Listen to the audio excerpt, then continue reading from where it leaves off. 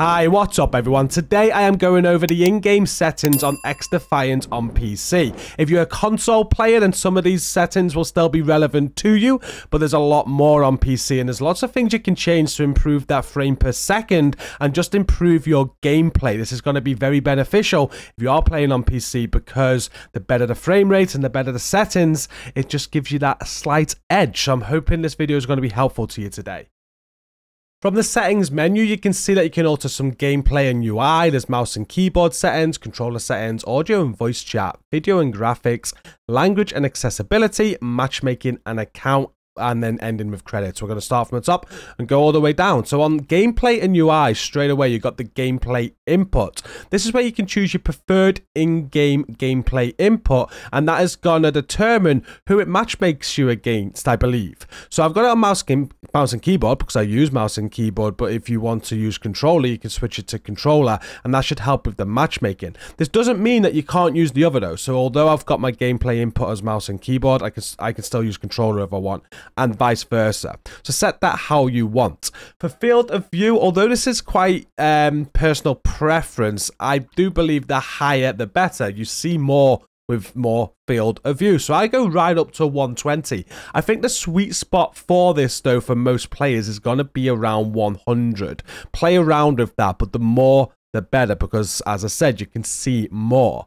ADS field of view, this just means that when you're aiming down sight that you keep it consistent with what the setting is up above when you've got it on consistent. You can have it on independent if you want to, but I just feel that that's going to just feel a little bit weird if you're going from like 120 to then revert to a different field of view when you're aiming down your sight. So I recommend keeping that as consistent.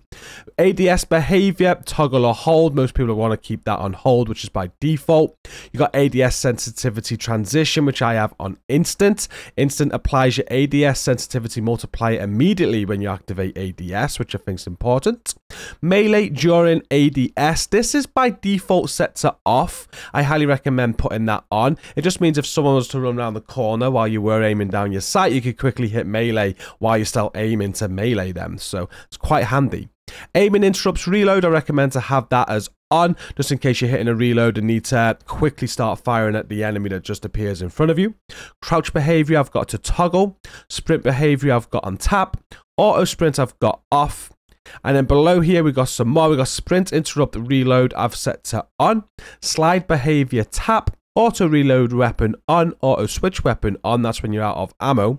Auto grab ledge I have as off. I was thinking about having this on just to test it, but that could get really annoying if you're getting close to ledges and you don't want to climb. So probably recommending that as off for you.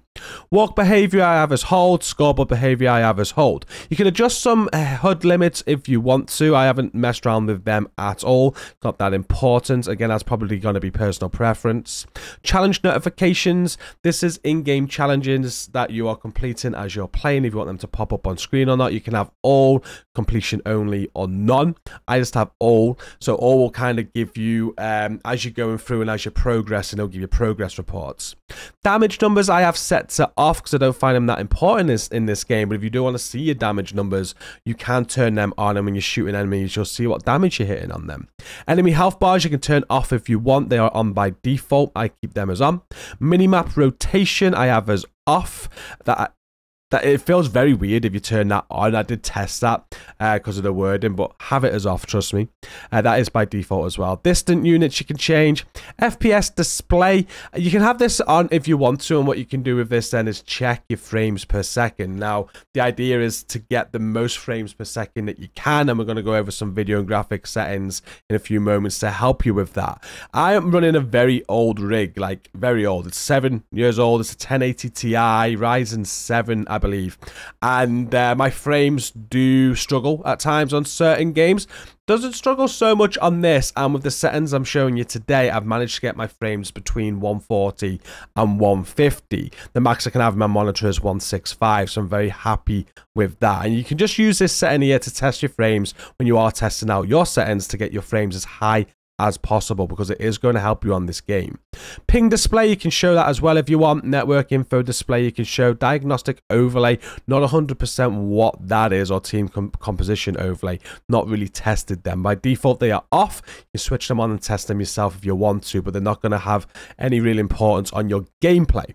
Moving on to mouse and keyboard. If you are using mouse and keyboard, then you are going to want to adjust these settings for your liking, and it's very much personal preference. Like I wouldn't just pick what I pick. You need to pick what suits you. I do have my mouse sensitivity at 54.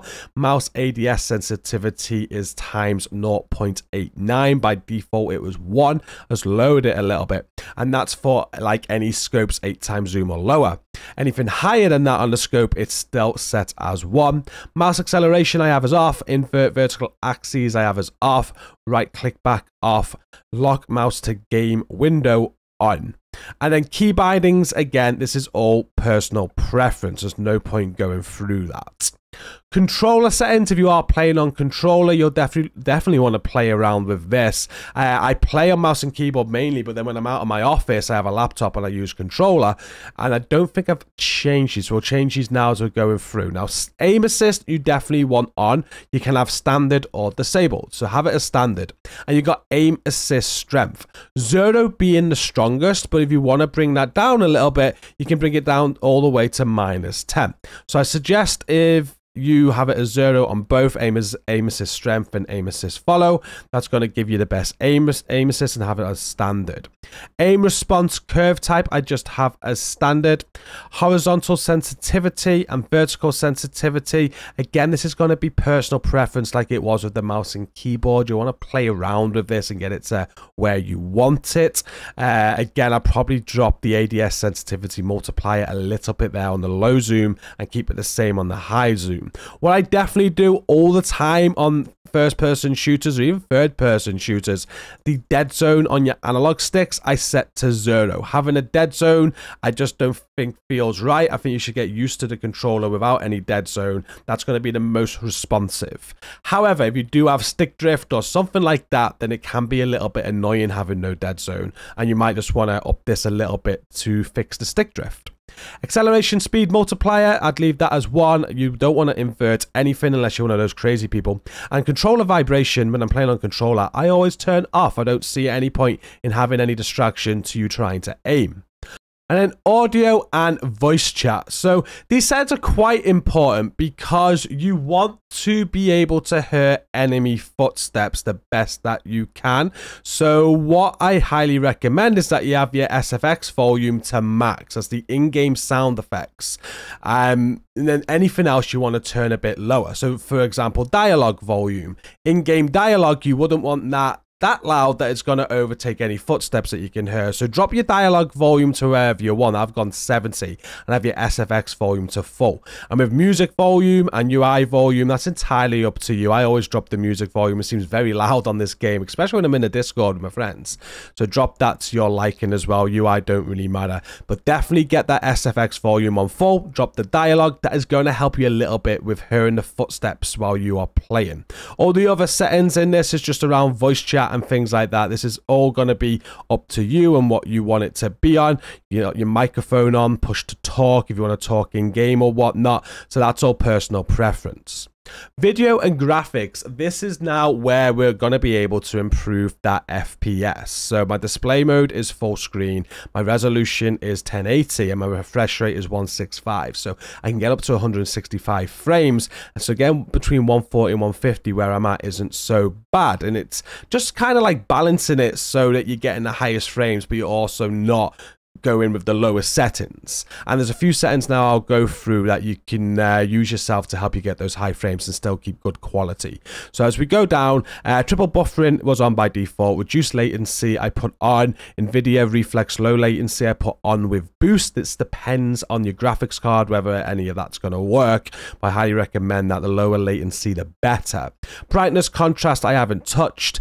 DX12 renderer I have as off. This is just because most games I play especially the Division 2, it's highly recommended to have this off to stop crashing issues and things like that. So I just don't really trust it. I always just leave it off. Uh, you can play around with that though and have it on if you want and see what you think personally. It shouldn't really make any difference. HDR and all that, it's up to you and your monitor. I have it off because I stream through a capture card with no pass through. Graphics quality, you can see is custom because we've changed some things. VSync mode, I believe this is on by default and VSync stops screen tearing. However, if you have it off, it can really improve your performance. So I recommend having VSync mode off just because of those frames that we're trying to get as high as possible. And if there's no screen tear or anything like that, then you know you're good. But if you do get a lot of screen tear, you might want to come and put it back on. Frame rate limit, obviously you want to set that to off. And then we get into some settings that you just want to bring down a little bit. So we've got shadow quality. This was on ultra original or very high. I brought that down to high. Spot shadows, I brought I, I left as high as well. Spot shadow resolution, I left as high also. Now, shadows aren't really that important. Like, if I really wanted to, I could go down to medium on this. Again, I'm happy with where my frames are, but if my frames were lower where, than what I, where I wanted them to be, I'd drop shadow quality even more. You can go lower. Who cares about shadows, right? You're going to see them anyway. So this is a great area where you can improve your frames by just dropping your shadow quality. Resolution scale I have as 100%, sharpening I have as 7. Particle detail you can see is ultra here. Uh, again, particle detail, if you want to lower this to improve your frames, this is a great area to do it. So lower it to high or even medium to get those frames higher if you want to. Uh, volumetric fog I have as high. Global reflection quality I have as medium. Local reflection quality I have as medium. Vegetation quality I have as medium. These are again some great settings to improve those frames per second, but not really have too much of an impact impact on the game you are seeing. So you're still going to see the game in in great quality, but you're able to get some frames back here. Subsurface scattering is on. Uh, ambient occlusion is medium. Object detail I dropped to 59. Extra streaming distance is 10 by default. Lens flare I turn off. Water quality is high. Chromatic aberration is on, and terrain quality I dropped to medium. So there's a few settings I dropped there that I just went over that allow me to get the frames as high as I wanted them. You can play around with these, and the ones that I mentioned, if you just want to get the frames even more higher, just keep on making those lower until your frames are where they are at higher frame rate the better i highly recommend going as high as you can that is going to give you the edge when you're playing on this game now, moving to language and accessibility, uh, there's some accessibility options here. I've not changed any of this. This is just all standard, but you've got colorblind mode if you want that. There's a flashbang effect. You can have bright or dark. So it's pretty cool. I noticed on the Division 2 recently that they changed the bright flashbang to a dark one, and everyone thought the game was broke when they did it. But it's a nice feature, and in this game, you can actually choose whether you want it bright or dark, which is cool. You can change the menu text contrast, the menu narration. There's chat window, chat language filter, chat speech to text, chat text to speak, uh, chat audio cues, and chat audio cues volume.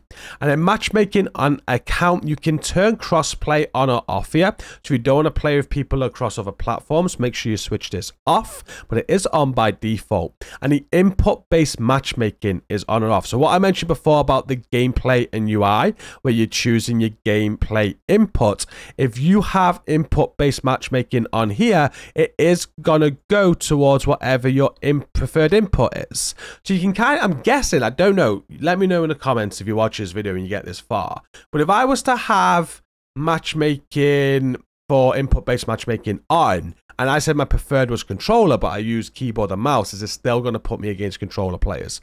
Very interesting. Might be worth testing. But I have it off anyway. I'm not. I don't personally care who I play. I'm not. I'm not sweat or anything like that. I just want to have fun and uh, try and improve. So I just have that off a crossplay on. But again, personal preference. And then you finally have the credits for XDefiant if you want to have a look at all the great people that have worked on this game.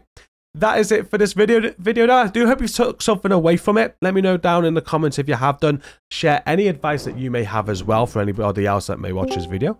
Thank you. Don't forget to hit like, subscribe for more content, and until the next one, take care and peace out.